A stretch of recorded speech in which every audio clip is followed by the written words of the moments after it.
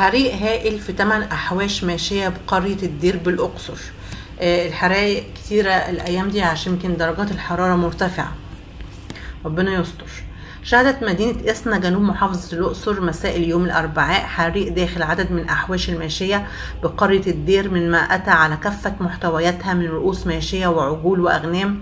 تمت السيطرة على الحريق دون مصابين بين الأهالي أو خسائر في الأرواح.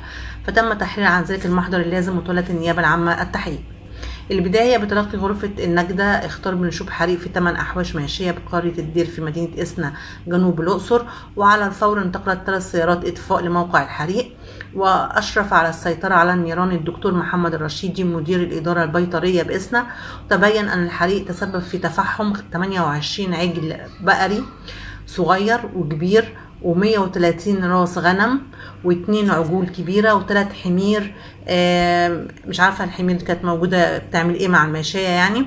تلات حمير كانت داخل أحواش الماشية التمانية. وتعود تفاصيل الواقع إلى تلقي لواء خالد عبد الحميد مساعد وزير الداخلية مدير امن الأقصر اختار من المقدم إسلام هندي نائب مأمور مركز شرطه اسنا بنشوب حريق بعدد من أحواش المواشي بقرية الدير. مما اسفر عن نفوق 43 روس ماشية وانتقل على الفور لمكان الحريق. وطبعا تم السيطرة الحمد لله على الحريق. آه طبعا آه وقال الدكتور محمد الرشيدي مدير إدارة الطب البيطري بإسنا إنه تم معاينة الأحواش بقرية الدير وحصر عدد الرؤوس الماشية لتهمتها النيران وسوف يتم التخلص منها بالطريق الصحية المتبعة بعد انتهاء الإجراءات القانونية.